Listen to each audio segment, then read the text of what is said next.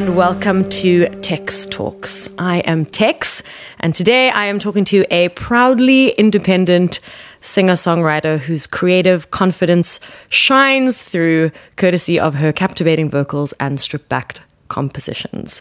Having developed her bluesy folk sound busking on the streets of Berlin, she has caught the ears of a community of music lovers the world over with her honest storytelling and raw, beautiful voice. I am, of course, talking about the uniquely captivating Alice Phoebe Lou. But first, we need to mention our awesome studio sponsors for this season. STFD Studio, a world class recording facility opened by local music specialists, Sit the Folk Down. Their services range from audio and post production work to mixing and mastering and everything else audio related. Get in touch with them at studio at stfd.co.za for all your recording and music related needs. Mixroom Studios is a boutique, electronic music focused mixing and mastering studio. And if you're making cool electronic music, you probably need your beats to be polished. So hit Mixroom Studio up at info at mixroomstudios.com for more info. Alice, welcome. It's been it's been a while since I've last seen you. How has the start of the new decade been treating you? I think it's been quite a rough start, actually. To be honest, I feel like it's the case for everyone. I think it's it's that um, delusion that we get ourselves into, like new year, new me, everything's gonna be better. I can just wipe all the cuck away and start again. Um, and then reality hits you, and you're like, oh, it, you know, it, the New Year thing is just symbolic, and you know, we're still still got our same struggles and, and all of those things. Um, but right now, I feel like my year's starting now. I feel like that was just a trial period. Those the first month and a half or so. January lasted like 15 years. exactly. Basically. And I think also I just um, I had come to South Africa after touring for a long time. I played over 100 shows last year. So I was kind of I never really stopped, and my band came down with me this time. And usually they uh, come at a later stage, so it the the tour almost continued. Um, and then I had a bit of a bit of a crash when they left in mid Jan. Um, but that crash is always very necessary for me. I don't see that as like a negative thing when you just kind of need to take stock and suddenly just yeah change change the speed and the pace of of life a little bit. So that's what i've been going through. Um, but i'm i'm in a very good place right now. I feel i feel very happy with the way things have been and i'm looking very forward to the things that are coming. So oh I can't wait to talk about all all of the things mm. that have happened over the last few years because it's been a it's been a while since I've seen you, but also to hear about all of the very exciting things that you're working on that are coming up this year. But I mean, you mentioned the the speed and the sort of change of pace when you come back to Cape Town, where you can sort of re- regroup and recenter. And I know you grew up in in Kommetjie, which is like it's that that's Chill the epit- that's the epitome of like chilled and, and laid back. So I w- and I know on social media you talk very fondly about like your mom and your brothers, and you seem like a very close knit family. So what was it like growing up in the the um, uh, what I'm sure is a very chilled, very laid back Lou household? I mean, you know, things are always a bit different on the on the inside as they are to the, the outer world. And Kommetjie definitely is a very very chill place to be. Um, I grew up in a family of four, and we're all pretty strong personalities. So um, there's that. But I have very loving parents, and I'm very very fortunate uh, the way that I have grown up. The the way that I started my career has been determined by the the kind of principles that I grew up on, and um, especially having a very, very strong, independent mother.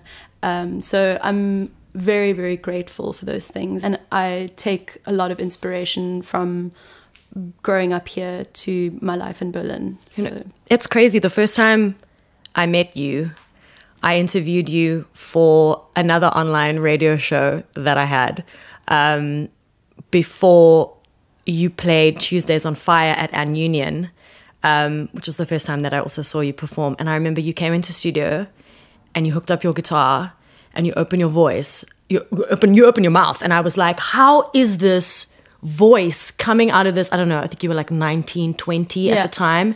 And I just remember being so blown away. And my producer in the booth looked at me and he was like, What is going on right now? I'm so confused by this insane talent.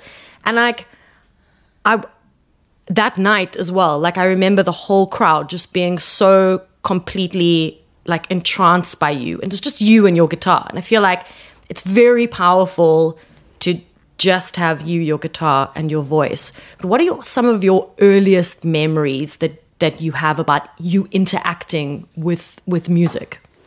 So I guess it starts with my parents' record collection and just being exposed to a lot of different genres. My my parents didn't have like one kind of music that they listened to, um, and that was always really special. I also had a lot of um, like kind of musical. My parents had musical friends that I looked up to, and my mom plays a bunch of instruments herself, so it was kind of always around. Um, but that was never really my focus. I didn't grow up dreaming of being a musician. I thought that at the end of school I was going to go and study um, anthropology and uh, at UCT. So it wasn't my dream. Uh, but that all kind of changed once I started traveling, started writing some songs, and and realized. I guess the effect that that I had on people, it's it started to show, and the the excitement of playing on the street. I just found something, you know, that feeling where you where you really just suddenly realize that you're so comfortable and at ease doing something um, that I'd never really found in one thing before, and I found that on the streets of Berlin, um, which was initially out of necessity. Kind of, I'm traveling. I don't want to ask my parents for money. I got to do this. so, um, but yeah, I, I'm really happy with the way that it happened because uh, I feel like I, I had many years where I was kind of self conscious about the fact that I'd never gone to music school. I'd never really had a formal education in music. And I felt like, fuck, if I just started earlier, imagine, you know, the wealth of knowledge that I could have on music now and the kind of music that i'd be making. But I realized, especially in the last couple of years, that the value as well of, of being a musician that that is self-taught that doesn't necessarily have music theory as a strength but has storytelling and songwriting in a different way as a strength. Um, and it's something that i'm starting to appreciate about myself more feeling less self-conscious that i'm not a trained musician but that i can tell stories through a few simple chords you know and that's that's been a really nice uh, place to come to to realize that sometimes uh, not having an education on the thing that you're in you're in can be a strength in a way as well. Um, that's been something that's been really nice to acknowledge because i always had this sense of like mm, i'm not good enough you know I think I think a lot of us do. Yeah. Like when it comes to creative prowess that we have or that we're unsure of. But one thing that I just learned about, you know, I didn't know that I had no idea that you weren't you hadn't studied music at all. That's in, incredible.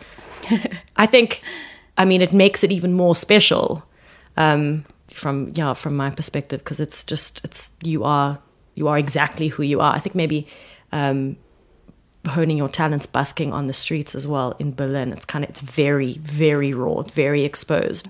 So I want to take it back to just after you matriculated. You get on a plane, you go to Amsterdam, you're dancing, you're fire dancing, which I also didn't know about you. Oi, That's oi. insane. Um, you know trying to make money, doing your thing, and somebody says to you, You've got to go to Berlin. And I feel like with you, it's impossible to have a conversation and not talk about Berlin because the city is so intrinsically linked to you and you are so intrinsically linked to the city. Um, what is your first impression when you get to Berlin? What's the, fir- what's the first thing that enters your mind? I walked down the street, um, and it was in quite an alternative part of the city where I've actually uh, like live at the moment, and there was just so much activity happening on the streets. So many different kinds of people that held themselves high without a sense of being judged, even if they were kind of looking outside of the norm or, you know, expressing something that isn't, uh, I don't know, it's usually socially acceptable. and that was literally it. I walked down the street and just saw just such a wealth of expression and and I couldn't believe it to be honest because I'd heard of you know these golden eras in different parts of the world Paris you know, in the 20s. New York in the 70s and and these kinds of things felt like they were living in books and records. And and that's honestly it sounds a little bit romantic but that's literally what I felt when I was walking down the streets in Berlin. Uh, the sense that wow there's still a place in the world where you know you can feel as though anything is possible and where there's the sense that things are not over-regulated. Because most big cities in the world you know as amazing as they are have this sense of just being so fucking over-regulated that you just you you you don't feel like art and expression can can really know no bounds you know and Is and it is it an affordable city? I've never been there before. no, it's not. It's really expensive, and no one should ever go there. no, it's um, it is really affordable. Okay. Um, comparatively to a lot of other parts of Europe, especially when I moved there uh, in 2012, I was paying like 250 euros for a room. Like, and you compare that to London, I mean, it's just a whole different situation. But that's the thing is Berlin's kind of magnetism in lots of different ways because obviously there's the alternative part of the city that draws in artists and creative types from all over the world people just kind of like land there and get stuck there and can't leave um, like like I did uh, but there's also you know a lot of other interesting things happening in fashion in tech companies and whatever so it's such a bubbling city that uh, things are changing. Things have been changing very, very quickly. And at the moment, it's less of a problem of it being uh, too expensive, but more just like there is nowhere to live. There's Really? just so people that have lived there their entire lives spend a year looking for a, an apartment. That's the, the situation at the moment. So it's quite wild, and and I feel quite sorry for for local Berliners who you know, on the one hand, love the multicultural nature of the city and, and want people to be able to find their home there. It's it's it's one of those places that just, you know, for all the misfits of the world, it's it's it's home. It just feels like home. Um, but at the same time, they're like, "Fuck, Berlin got too cool. It just got too cool, and now I can't find a place to live And it- because and there's it- too many people here." Exactly, and it doesn't seem to like be slowing down either. Not at all. I mean, Andre Leo and Lucy Kruger from Medicine Boy, who've you know now live there, and then we've got Bye Beneco that are also moving there, and like South Tor African moved there. Tor moved there. Yeah. Beatenberg, I see Rob there every second day. Yeah. So like. I feel like there's this influx of South African creatives as well. Absolutely. So when you're there, do you see a lot of each other? I mean, do you sort of bump into each other in the street, like when when you're all busking, or I mean, is it is it is it that kind of? Do you run in the same circles? Is the creative community that small? So in 2012, when I moved there, bumping into a South African was so rare. It just didn't happen. Um, and now, over the last few years, I guess a, a lot of people started paving the way for, um, you know, people getting more excited to go there because there's already a community there that they can you know they don't have to start from scratch. They can already have a connection or two. So now there's there is definitely a growing amount of south african artists there. I would say um, you do uh, cross paths quite a lot. You help each other out um, help each other get the kind of documents you need for your artist visa or whatever. I'm lucky enough Super to have a, a passport uh, belgian passport so Ooh, i never ticket. needed that. Yeah golden ticket baby. It's i mean it becomes so arbitrary when when you know it's it's just a matter of a little booklet. It feels super weird. But i have also helped people um, to get the kind of documentation they need to uh, get art- artist visas. But at the same time i don't i've never been that kind of person that is like um, so overly proudly South African that I'll just stick with my my people and like that'll be my community wherever I go, you know. So Hashtag I'm staying. yeah, exactly. so I've just kind of decided like I don't um, go out of my way to to join and connect the South African artists in in Berlin because that already happens quite quite easily. And yeah, it just kind of everyone slots into this scene, and it becomes less about where you're from and just more about what you do. So you spoke earlier about busking, and you spoke fondly about it, but you know, with the ups come the downs. Mm. And I'm sure that you've had a few experiences over the years busking that can't have been entirely positive. Absolutely. So what what have been some of the pitfalls over the years of your busking experiences in Berlin, but then also around the world because you you do busk in when you get the opportunity, you, you do busk wherever you can. Yeah, look, I think people underestimate how difficult it is to be a woman busking on the streets. It's fucking difficult, really. And um, that's why I've seen so many people try, so many women try, and actually not have the strength to continue, um, which I don't blame them for. I don't at all because you can have really hard experiences and just re- feel unsafe, basically. Um, and I've definitely been there.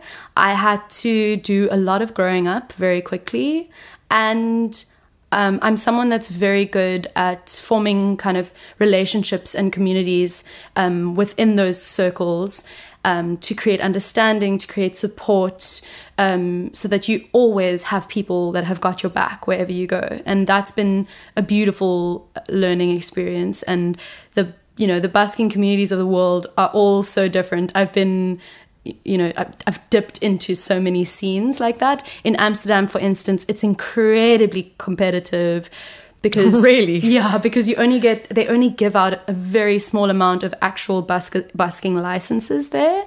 And so i experienced my first like really bad experience happened in amsterdam. Most of the buskers uh, were kind of street artists that would do these shows with getting out of a straitjacket or doing like some crazy shit and, and they had been doing it for like 10 15 years they were generally men from uh, different english speaking countries around the world australia um, the USA, etc. And they had usually were supporting some kind of addiction, not to not to um, you know slander addicts or anything. Like I definitely empathize with that, but then obviously it's how you treat the people around you. Um, and this one guy, I always kept my distance from him because he was quite aggressive, and I think he was addicted to speed um, and alcohol.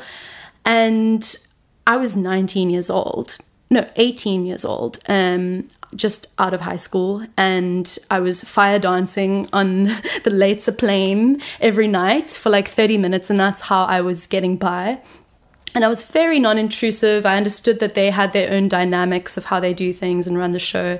Um, but eventually, he would always push my buttons, you know, Australian kind of alcoholic character. Sorry he to sounds- stereotype, but he sounds divine. Yeah, he was Stereo- stereotype away. and so he would he would always try to push my buttons and get a reaction out of me, and I saw that that was his tactic. So I would always lay low and let him have his whatever. And eventually, he got to a point where he told me that he was going to follow me home and rape me. Wow. And he said it in front of three or four other busking men, and not one person stood up for me. No one like you know called him out for what he'd said. And I was so shook by it. I had to just like I didn't want to see him to see me cry, but I could feel I was gonna cry. So I just like took a walk around the block, had a little cry, and came back. Um, and this guy on the same night ended up getting into a fight and getting beaten up.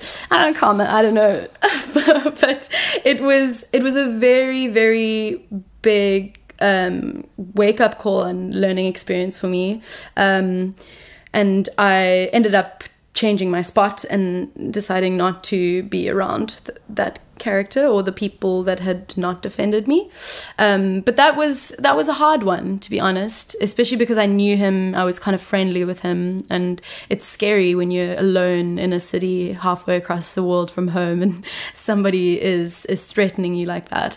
Um, but then in general on the streets, I mean, you've got to understand that you become pretty used to being shouted at, being grabbed, um, having people on all sorts of drugs coming in and trying to trying to just squash the magic that you're creating in that moment you know because I, think that's exactly what happens is you're you're creating this beautiful cozy bubble that people want to engage with and uh, you, somebody who's maybe having a fucking shit time on the inside and uh, is sees the light, sees the the warmth, and just wants to destroy it. You know, and um, that's also something that I've learned to understand and empathize with on another level.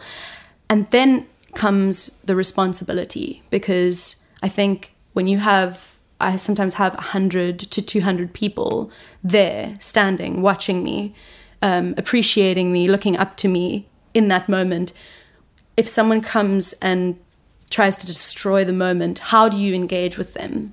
And it is so important to not treat someone as though they are lower than you, especially mm-hmm. if they are homeless or if they look like they've had a hard time. I've seen so many buskers treat other people like they are lower than them, you know? And so I think that's been an incredible learning experience as well, is just trying to treat people with the utmost respect, even if they're acting like a piece of shit sometimes, you know, and trying to be stern and stand your ground while still treating other people like human beings. I mean, you you might not have gone to any sort of music tertiary educational institution, but you definitely went to the School of Hard Knocks. Oh, and I oh, think baby. that you're so much better off for it, to be really yeah. honest. I'm so happy with my, my education on, on the streets, to be honest. And then also the, the level of just you know you share a space with with a lot of homeless people, a lot of drug dealers, um, all sorts of kinds of people, and and you learn to to share. You learn to to yeah like use this public space and not have like a hierarchy. And it's taught me so many lessons, and I think definitely made me understand other people a lot better.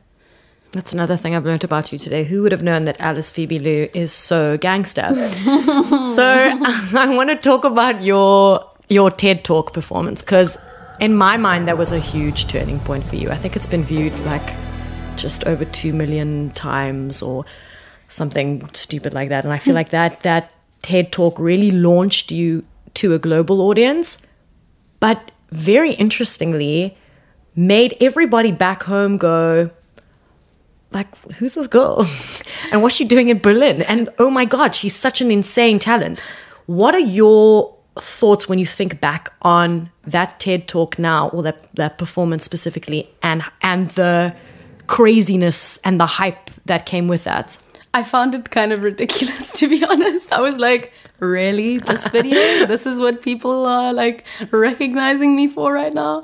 Like, you know, I was proud of it uh, on one level. I look back on it now, I'm like, wow, I was so nervous. It was one of my first times playing like on a proper stage, and I I didn't. I, I didn't really know what I was going to say. They'd asked me just to perform three songs. They hadn't told me to to say anything in between or anything. Um, and then those few things that I did say seemed to resonate with people. It made me more confident to use uh, gigs and performances as an opportunity to also raise certain issues, talk about things, made me feel more comfortable in doing that because sometimes you like question yourself like am I talking too much? Is this too much information for people that just want to like be entertained or whatever? But that definitely broke that for me, which was cool. But I was surprised because I was also very used to this like kind of nice slow trajectory of um, how my career was building on kind of like a solid foundation but i'd constantly already before that been turning down labels and um, just basically stopping any of those snap career moments that like propel you to another dimension all of a sudden because that's not really how I wa- ever wanted to do things to be honest. I just I'd seen so many people go through the label thing especially with bigger labels and how um, it just affected them and their music in a negative way and How change can- their how- lives. yeah, how it can fuck everything up. It can really fuck everything up. Yeah. And so I, I'd really made that executive decision to to stick to my guns and to build something on a solid foundation and not feel like I just want to like you know click my fingers and be somewhere else because and I'm so glad that that happened because I feel like there's a lot of times where a young person especially is kind of whipped up in that world. And of course, there's artist friendly labels, there's amazing people doing amazing things out there, don't get me wrong. But often they'll snatch someone up um, and they'll go from, you know, zero to hero or whatever you want to call it and not have learned the lessons to get there. And so when they're, when they're on the other side, it, it's very hard for them to, to understand how to, to continue because they haven't worked hard and learned the lessons to get there. And it, it makes it i think quite difficult to to move forward from that place. You feel like your creativity and and everything that made you the artist that you were um, are a little bit like lost on the wayside. Um, so so yeah um, that was like the first moment where i was like okay i could see the sudden shift in like people realizing who I was, I guess. And um, when I got back to South Africa that year, I was not to be like, oh my god, it's so hard being so popular, but like it was it was just a little bit overwhelming. Like I would go to a party and someone would be like, "Hey, you're the girl of the Hey, what's up?" And I'd be like. "Mm, Hey, a little awkward and shy, and that was that was the first time that I realized that South African fans are hectic sometimes. Like, I don't know, I find it very funny because, like, I don't get it all over the world where I'll, you know, walk into a restaurant in Cape Town and someone will shout from the other side, Oh my god, it's Alice Phoebe Lou, guys! And you're just like, Hello, I'm a human being. Why are you shouting at me? Can everyone just go back to doing what they're doing?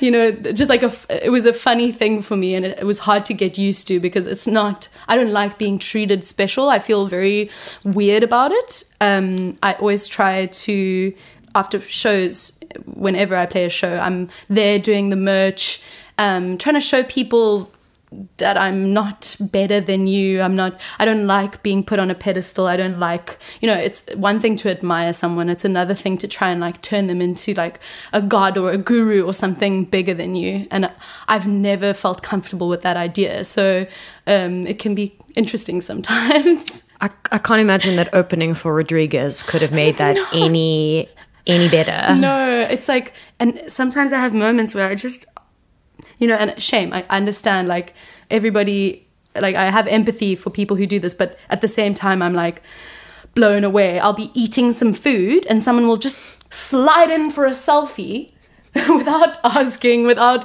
and I'm just there like, wow, how did the the how did everything lead to the point where you thought that this was okay? like I'll be you know, have a bit drunk with some friends or whatever, and someone will just, you know, grab me or like demand my attention. And it's just something that people should acknowledge, you know, that everybody is just a, a human being and, um, you know.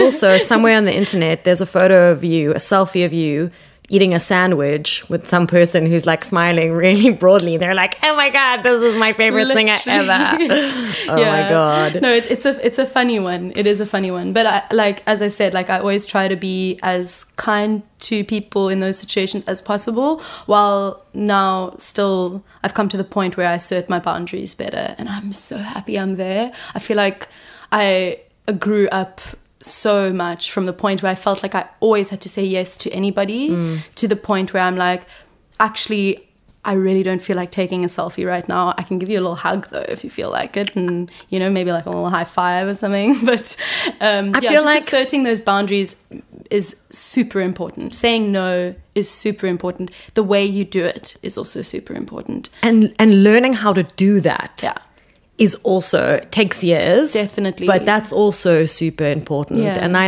like one of the things that i think that you've done really well we spoke a little uh, briefly about record labels indie labels aggregators major labels um, uh, how they can be a help but how they can also be a hindrance and i feel like you as an independent artist i know that you you know work with a team there are people around you, but exclusively, you know, everything you curate. Yeah. You are in charge of the image that you portray. And I know that, um, I mean, at the end of last year, you released Skin Crawl, which is, I mean, really, really beautiful music video and a really beautiful song, um, which obviously deals with some pretty hectic subject matter. But you released it with a press release that you wrote detailing that incident that happened in New York where you were drugged and then almost um, assaulted, but thankfully you were not.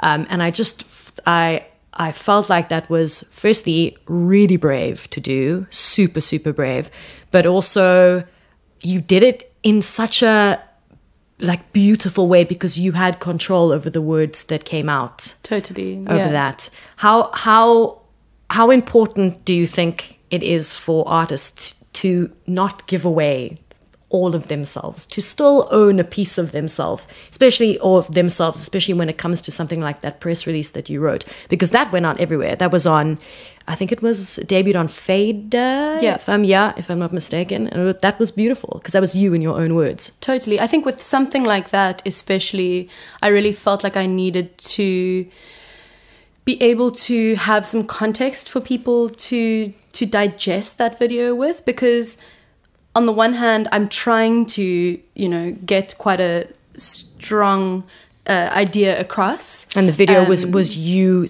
walking on top of a chorus of men, Yeah. basically. Yeah. using men as, as furniture and stuff. And of course, I got a bit of backlash for that. Fair enough.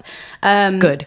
It's all good. It, it happens, but much less than I expected. And I think that the reason why the backlash was much less than anticipated was because of giving people context, because of the fact that I'm not doing this from a place of hate and that I'm not trying to, um, you know, make people feel bad. I'm just trying to get across a point of view that a lot of people experience. Um, and I think I think everybody approaches their kind of PR differently, and I can respect the fact that a lot of artists want to make the music and then have the other stuff done for them. I really do respect and understand that.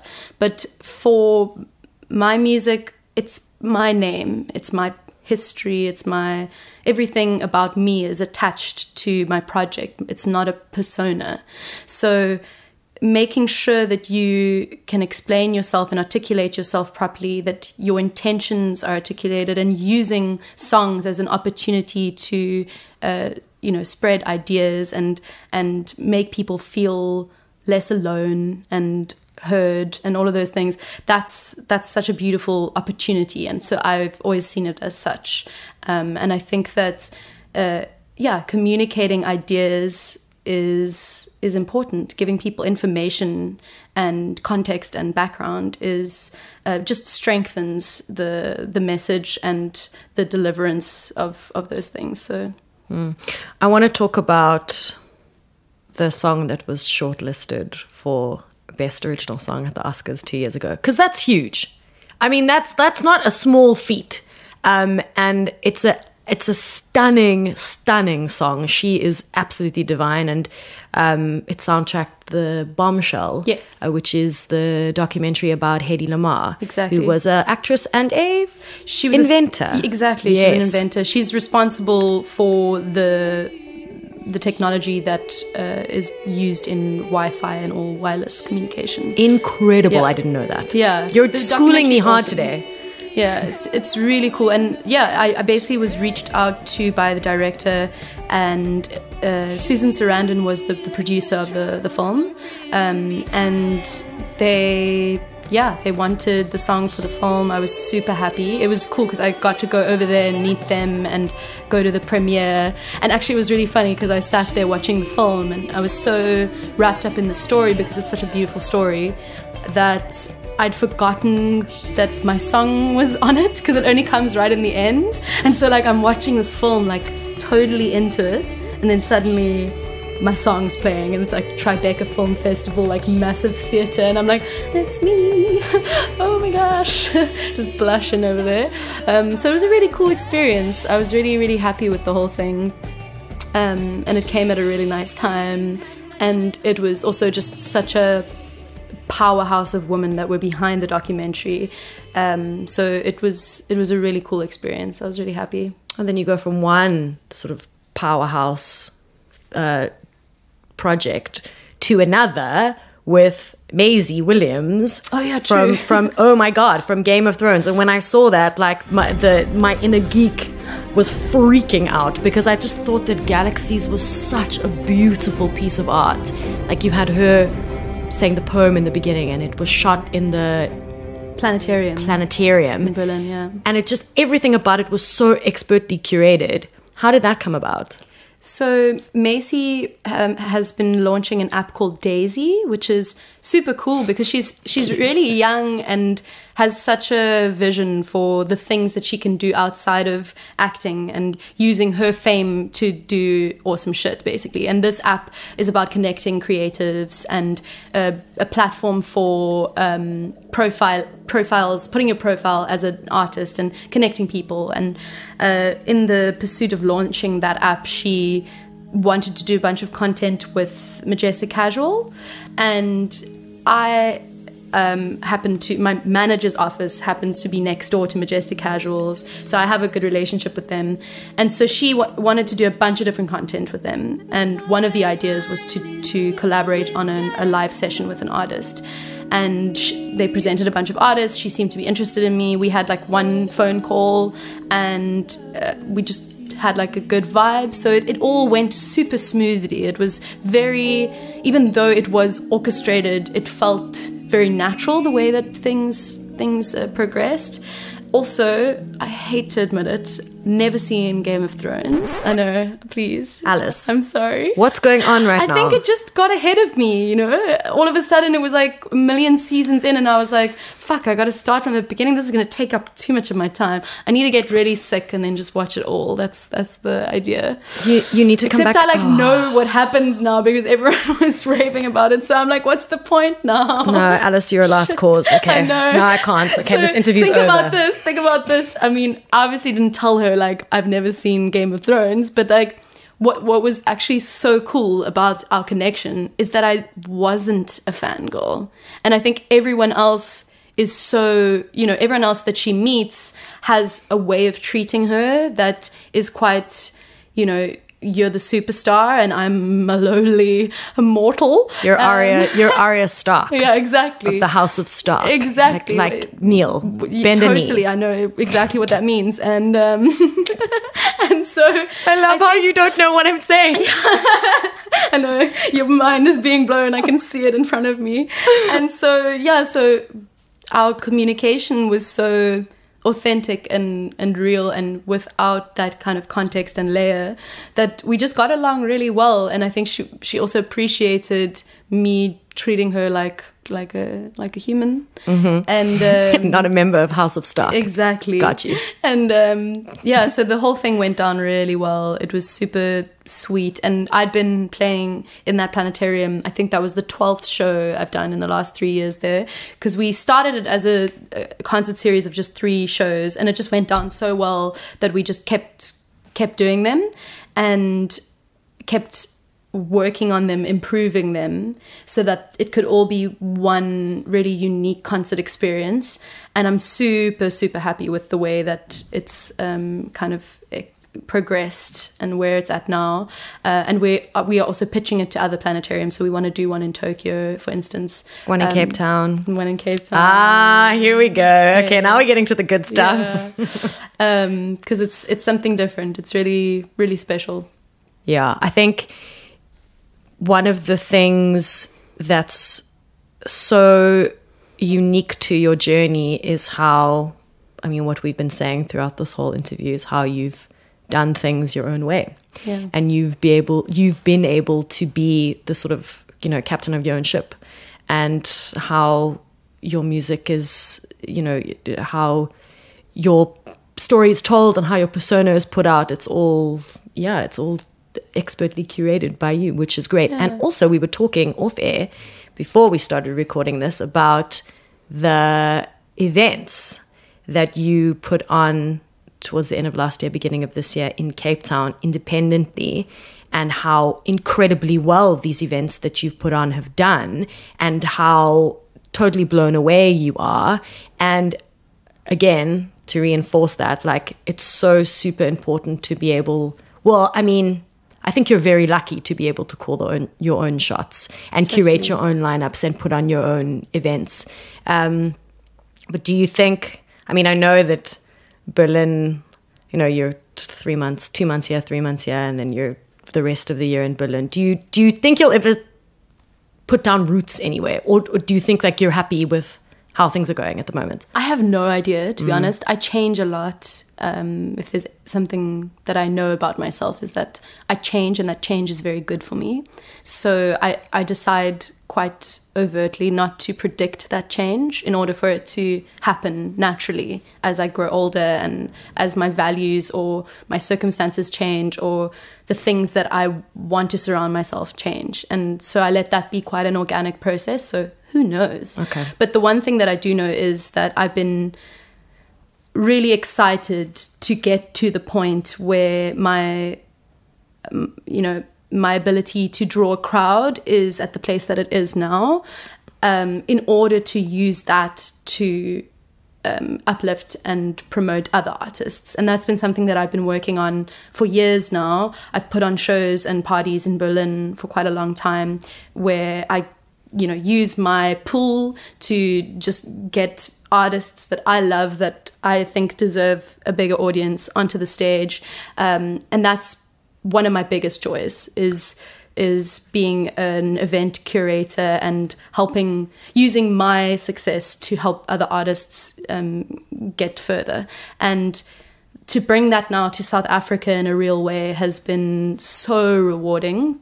I've been working with my friend Quito, who is honestly a, a, gem in South Africa in terms of what he does for South African music and how his fingers in on the pulse. And so us as a team has just been so amazing. We put on a festival on the 11th of January called We Here, and we sold it out.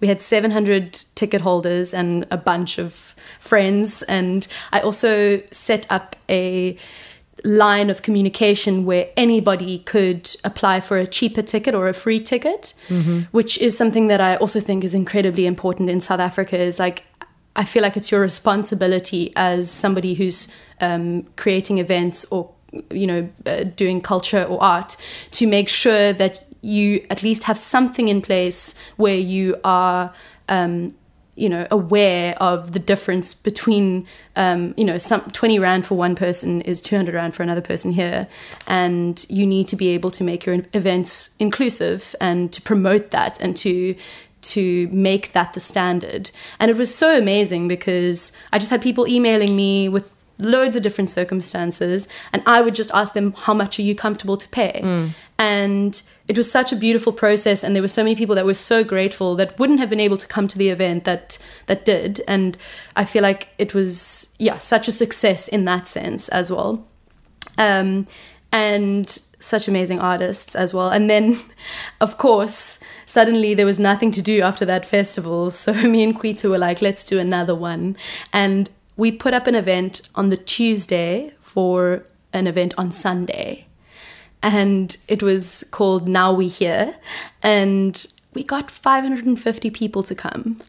And it was a nice crossover between um, DJs and live acts and it went down so well. I think people also in Cape Town really love spontaneous events, but obviously no like event organizer in their right mind wants to do one here because of how bloody fakey, flaky everyone is. Never. Here. I would never exactly. put my neck on the chopping block like that ever. And that's why I am in a position where I can do that because you know I can get people over. I have I have you know some sort of um, name here. So just to be able to do that was so exciting and so fun and showed me the potential for what I can do here in the future.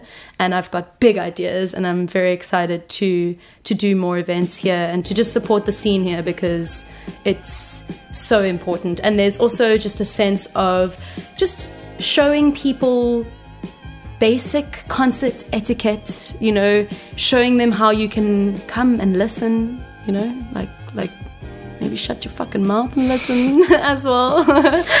and I'm pretty good at commanding a crowd now. That's I, I would say I'm I've I've yeah I've learned the art of of making a space consistent and showing people that how nice it is that we're all in this together, you know. And I played a solo show on that second show, a solo show in Cape Town in front of 550 people, and everyone was chup still. and that never happens. So just being able to show people that that's possible, training people to buy their tickets in advance, those kinds of things, and contributing to that, like n- normalizing that kind of event culture, I think is very important here. And and and there and there you have it. Uh, Alice Phoebe Lou, singer songwriter, fire dancer, and um, South Africa's newest. Hottest event promoter. Teach me your ways, Alice. Teach me how to make people shut up. When, like, oh my, oh my God, for real. No, but thank you so much for coming through. Such a pleasure. You've got this golden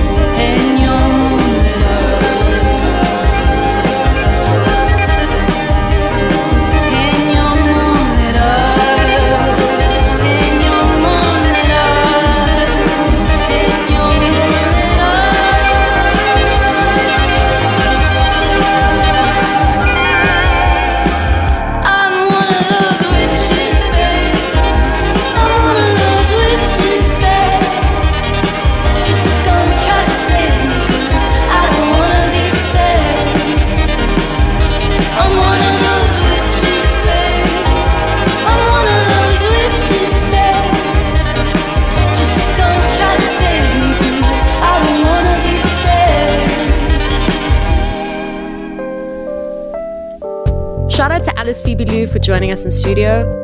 Thanks for joining us for another Texx Talks. Check out texxandthecity.com for more episodes. Don't forget to subscribe to our podcast on Apple Music and listen to Texx Talks on all good streaming platforms. From myself, Texx, our producers, Jonathan Ings and Matt Lutz, and our assistant researcher and collaborator, Al Clapper, catch y'all on the flip side.